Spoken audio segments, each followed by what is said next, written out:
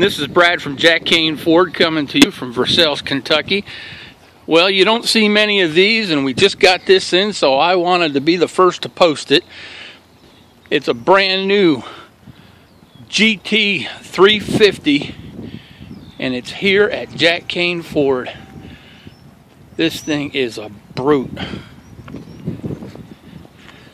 Pure sex. I don't even mind the blue stripes on it, and I'm not a blue stripe kind of person.